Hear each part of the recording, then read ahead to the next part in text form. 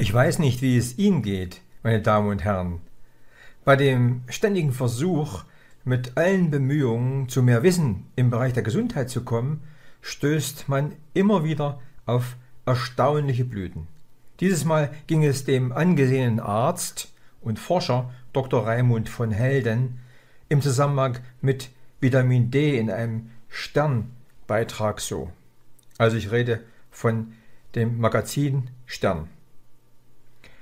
Dieser Sternbericht stützt sich auf die Stiftung Warentest. Da werden eigenartige Behauptungen und Hinweise, ja sogar Warnungen ausgesprochen, die mit der Realität und gar erst mit der Wahrheit wissenschaftlicher Erkenntnisse nichts zu tun haben. Mir persönlich ist Stiftung Warentest schon öfter aufgefallen. Wie ist mir Stiftung Warentest aufgefallen? Das beantwortet sich hier in dem Beispiel schon damit, dass sie, die Stiftung Warentest, sich auf die Deutsche Gesellschaft für gesunde Ernährung stützt. Jemand, der sich mit Ernährung beschäftigt, dem ist die DGE, also Deutsche Gesellschaft für gesunde Ernährung, längst suspekt. Aber sehen Sie, wie Dr. von Helden, der den Sternartikel zu Vitamin D analysiert, wie es ihm ergangen ist. Seien Sie aufmerksam, es gibt viel zu staunen, aber auch zu lernen zu dem wichtigen Kapitel Vitamin D. Hallo und guten Tag. Ich befasse mich heute mit dem Sternartikel Warentest warnt vor Vitamin D. Äh, da wird einiges behauptet und das sollten wir jetzt mal nachlesen sollte nicht einfach auf Verdacht geschluckt werden. Hier wird das Fazit gleich voran, vorangestellt. Ich sage, warum eigentlich nicht. In skandinavischen Ländern wird Vitamin D von den Ärzten an die gesamte Bevölkerung ausgeteilt. Die Menschen sollen es nehmen. Sie haben begriffen, dass sie sechs Monate kein Vitamin D bilden können. Also muss es genommen werden.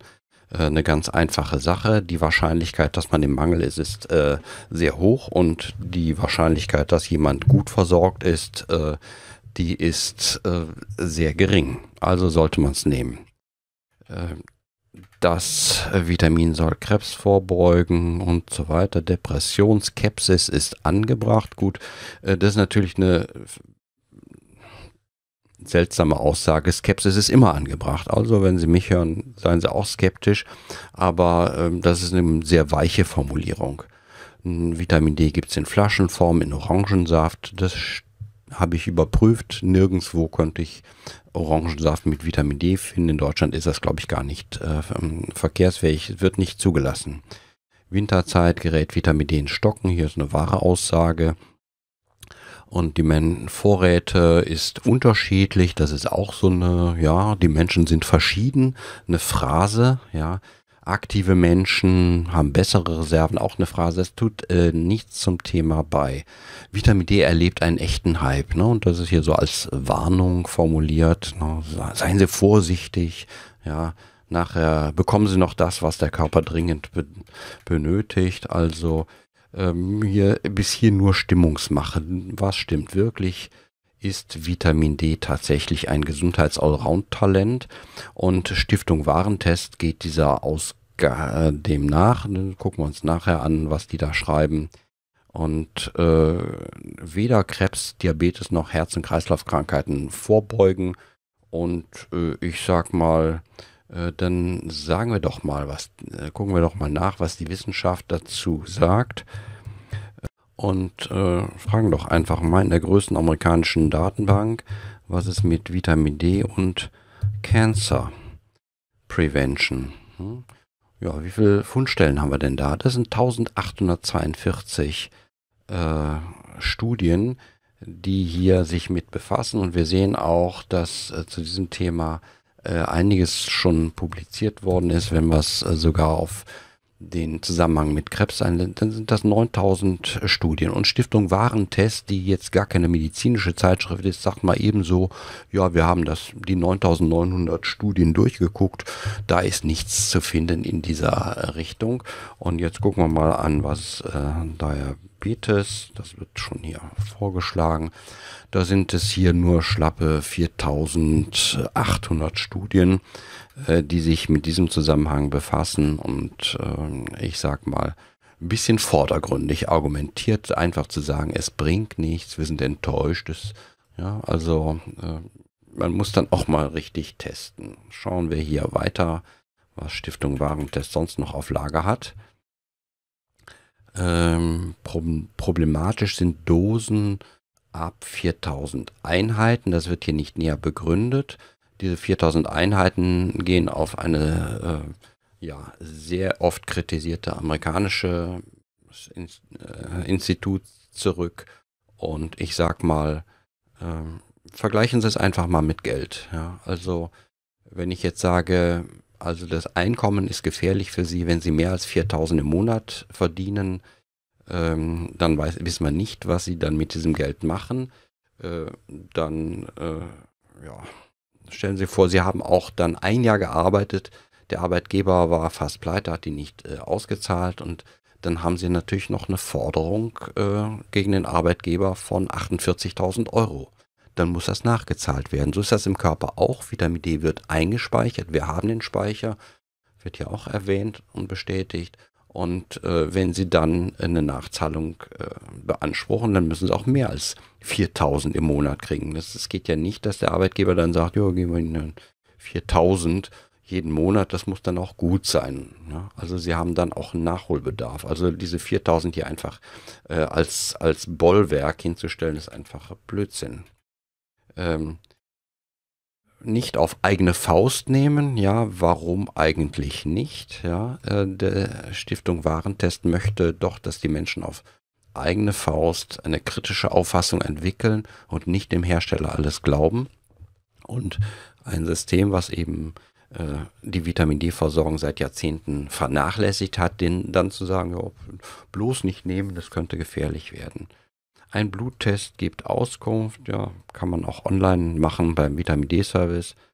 Äh, und dann gibt es hier noch die Risikogruppen. Dann frage ich mal, äh, wer befasst sich denn mit den Risikogruppen? Ja, äh, die Schwangeren, die dann Probleme in der Schwangerschaft haben oder die Menschen mit Arthrose, Menschen mit Allergien, Leute in der Chemotherapie, die haben alle diesen Mangel.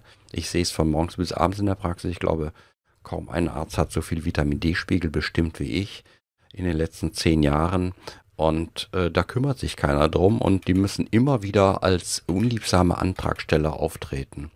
Steckt in bestimmten Lebensmitteln, jo, ähm, etwa 10% des Bedarfs. Das sind rein willkürlich aus der Luft gegriffene Zahlen. Sie können mit diesen ganzen Fischen nichts anfangen, weil der, auch der fette Seefisch, das ist ja der Lachs, ja, der kommt aus Zuchtkäfigen und die haben da praktisch kein Vitamin D, denn das würde der Lachs dann bekommen, wenn er ähm, als freier Lachs durch die tropischen Meere schwimmt und dann Vitamin D-haltiges Plankton aufnimmt, wenn der nur in einem Zuchtkäfig in Norwegens Fjorden lebt, dann, dann kriegt er nur gnadenhalber übers Fischfutter was. Das ist alles Unsinn.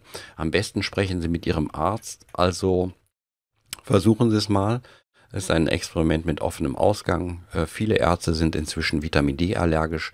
Ähm, sie sträuben sich gegen die Erkenntnis, dass die Hälfte der Bevölkerung hier miserabel versorgt ist und deshalb auch viele Probleme hat. Jetzt springen wir mal ähm, in, zu diesem Stiftung Warentest. Das ist ja das, was hier hinterlegt ist, ähm, als äh, wissenschaftliche Basis sozusagen. Äh, frequently Asked Questions, jetzt äh, aktuell am 21. Februar erschienen. Hier sind Fragen und hier schon ein Kind mit Sonnencreme wird hier als selbstverständlich äh, suggeriert. Ja, diese Botschaft, äh, es ist die Frage. Also äh, Sonnencreme schützt nicht mal vor Hautkrebs, äh, sondern verführt die Menschen dazu, äh, viele, viele Stunden in der Sonne zu bleiben ähm, und äh, schädigt dadurch die Haut. Und das kann dann auch diese Sonnenbrandunterdrückungsmittel nicht verhindern. Wie gut sind die Menschen mit Vitamin D versorgt, ist die erste der Fragen hier beim Stiftung Warentest. Äh, 60 Prozent der Deutschen sind unter dem Normwert und den hat man schon niedrig angesetzt, hier 50 Nanomol, äh, das sind hier nur 20 Nanogramm pro Milliliter. äh, nach amerikanischen Empfehlungen Grassroots Health äh, empfiehlt hier 40 bis 60. Also man hat erstens den, den Grenzwert richtig runtergeknüppelt, damit sich nicht so viele als äh, ja, fehlversorgt sehen und dann sind es noch 60 Prozent. Und ich, ich sag mal, ähm, wo ist denn hier das Problembewusstsein? Selbst wenn nur ein Prozent der Bevölkerung irgendeinen Schaden nimmt durch äh, Blausäure im Wasser, dann muss man dieser Sache doch nachgehen. Aber hier ist offenbar die Panik davor, dass äh, ganz, ganz viele, quasi Millionen Menschen ihre Rechte geltend machen. Warum ist Vitamin D wichtig? Hier wird so Knochenbrüche, Stürze und so weiter geschrieben. Äh, neueste Studien deuten an, dass es nichts nützt. Das ist ja diese äh, Schweizer Studie Ferrari. Äh, das, da hat man einmal im Monat Vitamin D gegeben, 60.000, so nach dem Motto, ja, 2.000 pro Tag, wir machen uns einfach alle 30 Tage, äh, geben wir dann nicht 2000, sondern einmal im Monat 60.000. Da ist nichts bei rausgekommen, wenn die Menschen so schwankende Arbeitsbedingungen haben und auch das ähm, bioelektrische System ständig mit äh, rauf und runter geht. Äh, das äh, hat dann zu Problemen geführt. Aber äh, so kann man keine Studie konzipieren. Das ist äh, quasi eher zum Abgewöhnen. Stellen sich vor, eine Blutdruckstudie würde sagen, Blutdruckmittel nützen nichts. Äh, einmal im Monat 100 Tabletten oder 30, ja, das ist äh, genauso Quatsch. Sie gehen ja nicht hin und essen an einem Tag des Monats sich voll und 29 Tage Fastenzeit.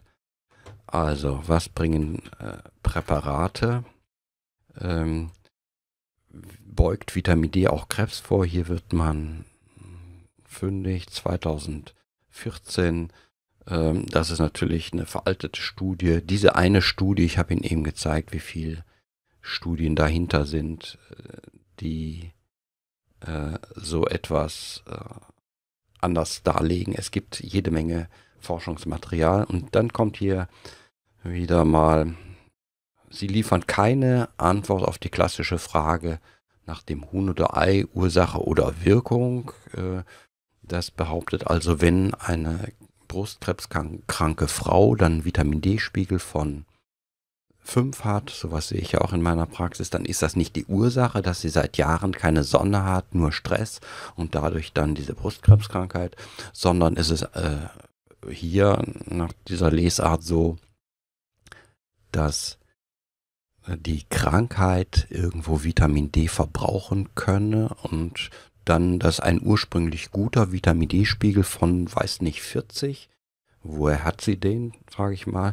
Die wäre dann verbraucht worden durch die Krankheit, dass also der Rückzug in der Krankheit dann auch den Vitamin D-Mangel macht. Äh, das ist äh, etwa so schlau wie jemand, der nach der Testosteron-Dopingprobe sagt, ja, das äh, ist alles äh, Folge von meinem Training, dass das Testosteron so hochgegangen ist. Also ähm, das äh, ist Unsinn. Wir haben ja die Wirkmechanismen. Vitamin D geht an den Rezeptor, steuert die Zellen. Wir können es im Reagenzglas auf dem Nährboden. Überall können wir zeigen, dass Vitamin D eine unmittelbare direkte Wirkung hat und auch die Immunkompetenz erhöht. Und ähm, noch etwas. Also selbst wenn man sich, wenn man sagt, es sind nur Verknüpfungsstudien, äh, wir wissen nicht, was die Ursache, die Wirkung ist. Ich sag mal, wenn Sie zwei Fluglinien zur Auswahl haben. Von der einen haben sie gehört, dass da im letzten Jahr sieben Flugzeuge abgestürzt sind und, und von der anderen keine. Ja, dann haben sie Auswahl. Sie können sagen, ja, das ist statistisch, ja, ist reine Statistik. Ich kann genauso gut mit der Absturz-Airline fliegen. Das würde niemand machen. Äh, alle würden auf Alarm gehen und wir haben eben äh, mit niedrigen Vitamin D-Spiegeln die hohe Mortalität verknüpft. Das äh, zeigt meine eigene Studie zu dem Thema. Wenn wir hier bei NCBI Vitamin D äh, mal hier meinen Namen eingeben von Helden,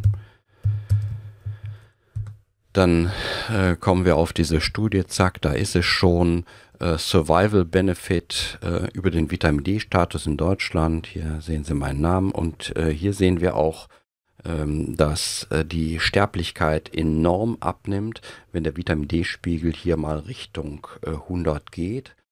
Und ähm, diese 100 Nanomol sind ja auch hier der genannte Grenzwert. Das sind äh, letztendlich nur äh, 40 Nanogramm pro Milliliter. Zurück zum FAQ. Also es gibt diese Studien, die diese Verknüpfung zeigen und äh, wer äh, einigermaßen bei Trost ist und wem seine Gesundheit lieb ist und die seiner Angehörigen, der wird einfach das tun, was eigentlich Vorschrift ist. Dem, den Körper mit Vitaminen versorgen und bei einem Mangel nicht zu sagen, oh, wir wissen das noch nicht, ja. Also sie fahren ja auch nicht mit Plattenreifen los und sagen, es gibt keine statistische Studie, äh, die zeigt, dass mit Plattenreifen mehr Unfälle zu erwarten sind und ich fahre so schon seit Wochen, ja, machen sie das. Dann werden sie schon sehen. Wie bildet der Körper Vitamin D? Ähm, hier der Schlusssatz, der, dieser Vorrat reicht normalerweise aus, um ohne Mangelerscheinung über die dunkle Jahreszeit zu kommen. Stellen Sie vor, Sie haben eine Einladung, äh, vier Monate in die Antarktis, Sie leben in einem Blechcontainer und forschen dann im Eis. Ja, das, Sie waren, kommen aus Deutschland, da reicht das normalerweise, um ohne Mangelerscheinung über die vier Monate zu kommen. Ja, von wegen, ja. Sie werden, Sie werden sich schützen, Sie werden Vorsorge treffen. Und es ist völlig egal, ob Sie im, im Packeis der Antarktis sind oder im Weltraum, im U-Boot oder in Deutschland. Es kommt auf dasselbe raus. Sie brauchen einfach Vitamin D und Sie sollten hier die Weltraumforschung nicht nur für Ihr Smartphone und Ihre Teflonpfanne nutzen, sondern einfach mal für Ihren Vitamin D-Spiegel. Wir müssen nur eins und eins zusammenzählen. Kann die Haut mit Sonnencreme Vitamin D herstellen? Ja. Das ist natürlich auch schon mal eine irre Leitung, denn es ist falsch. Hier steht nämlich 95 Prozent äh, wird abgeschirmt. Ne? Also toll. Auf diese 5%, die dann sich vielleicht noch bilden bei Faktor 20, da hebt man dann ab. Und darauf gesehen, dass äh, diese, äh, diese Sonnenschutzmittel natürlich äh, auch äh, durch die Sonnenstrahlen zerbrechen, äh, klingen sie sowieso ab. Also das ist, dadurch haben sie gefährliche Metaboliten. Also Sonnencreme ist hier wirklich nicht zu verteidigen. Und äh, wer sich eincremt, der muss damit rechnen, dass er aus dem schönsten und teuersten Urlaub ohne Vitamin D zurückkommt. Also nicht im Hotelzimmer eincremen. Und die Lösung des Problems ist, dass sie eben zu Hause und vor Antritt der Reise schon kräftig Vitamin D nehmen, um einen ordentlichen tropischen Spiegel zu haben. Und dann bräunt die Haut auch ganz anders. Also die ist dann nicht so empfindlich. Das mache ich schon seit Jahren so. Wie viel Sonne ist für die Vitamin D-Bildung nötig? Gehen Sie so oft wie möglich nach draußen. Das geht jetzt erstmal ins Leere. Ne? Also im Winter jetzt äh, wird es gar nichts bringen. Sonnenbäder ohne Sonnenschutz sind unbedingt zu vermeiden hier. Also spricht hier eigentlich die Sonnencreme Kosmetikindustrie oder Stift, spricht hier Stiftung Warentest, besonders in der Mittagszeit. Die Mittagszeit ist die beste Zeit für ihre Photovoltaikanlage. Da ist die Sonneneinstrahlung am besten und nur mit heißer Sonneneinstrahlung bildet sich das Vitamin D. Nicht mit so, einem, so einer Sonne, die über einen Berg hinterm Horizont hervorkommt. Hm. Also äh, hier wieder eine Irreführung. Kann ich Vitamin D übers Essen aufnehmen? Ja, fetter, Seefisch, fetter Seefisch, also Lachs ist wohl gemeint, kann einen kleinen Beitrag beisteuern. Ich sage mal kann es irgendwie nicht. Also es wird sich nicht auf den Spiegel auswirken.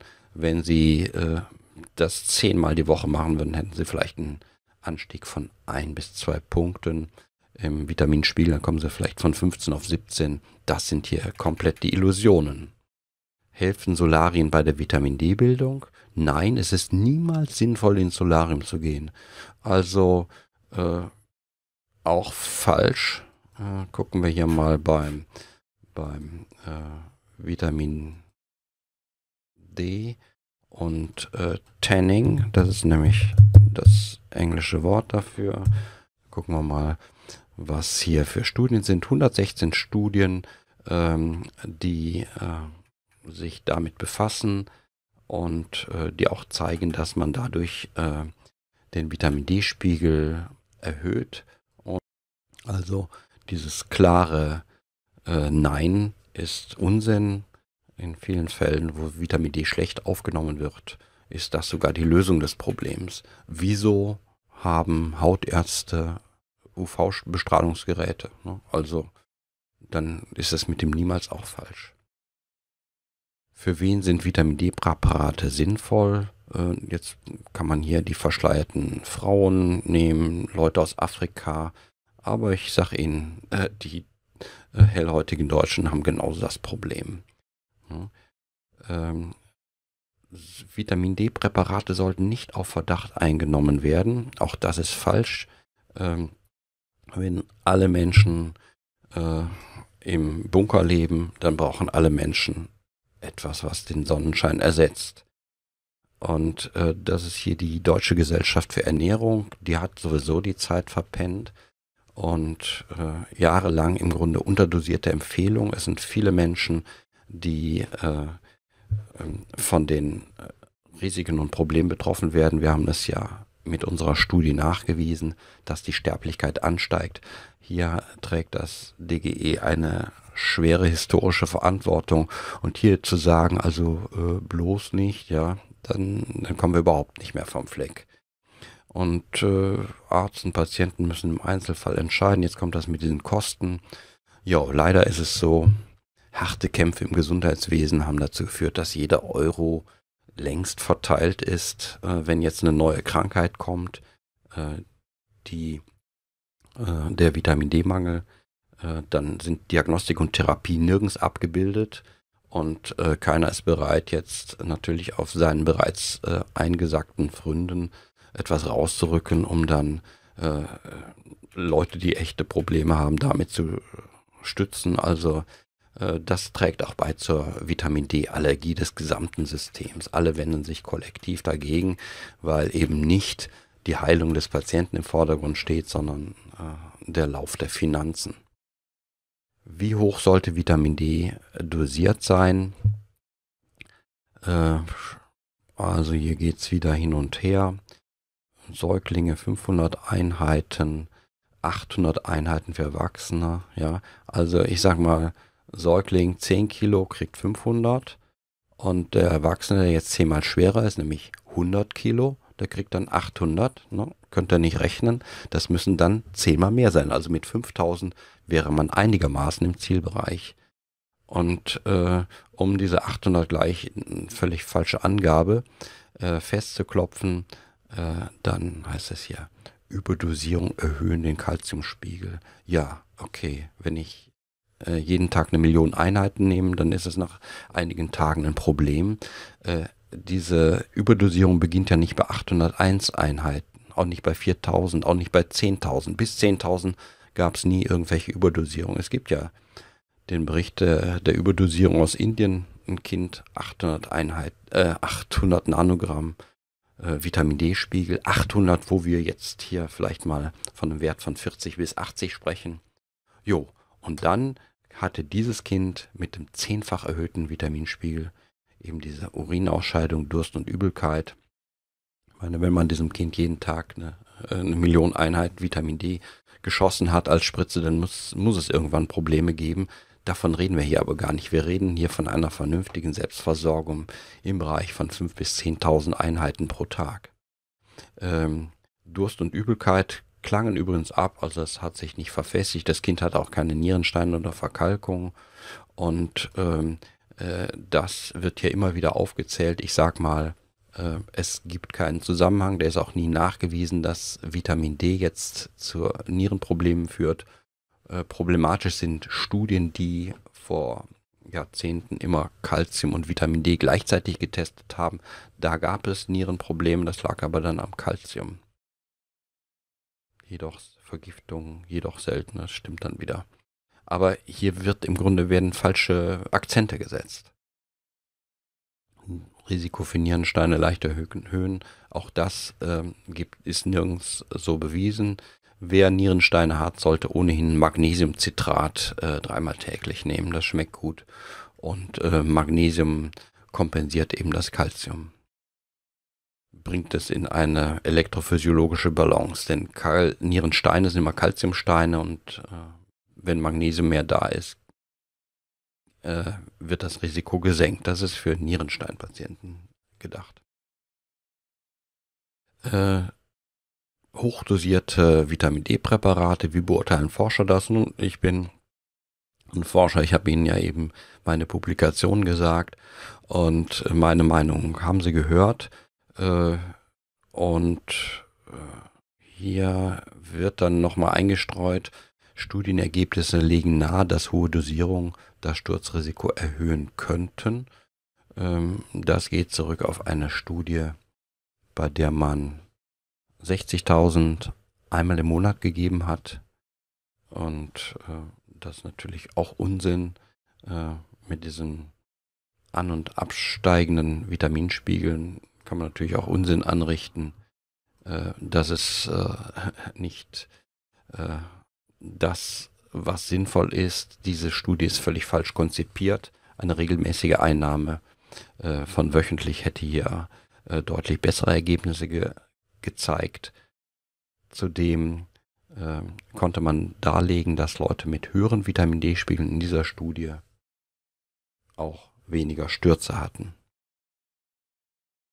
Nun, äh, die Kommentare bestätigen diese Auffassung.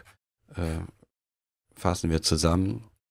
Hier sind eine ganze Reihe von Irreführungen über Vitamin D.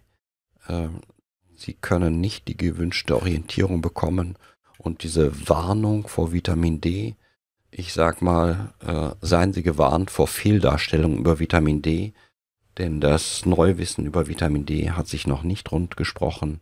Wenn Sie eine objektive Quelle suchen und die aktuelle wissenschaftliche Diskussion haben wollen, dann gehen Sie hier auf PubMed Government, die größte Datenbank der Medizin, frei zugänglich und dann werden Sie sehen, dass hier unter diesem Stichwort Vitamin D äh, 75.000 Studien sind. Und hier sehen Sie auch, wie im Laufe der Jahre das hier explodiert ist, äh, die Zahl der Studien, 4.400 Studien allein im letzten Jahr zu diesem Thema.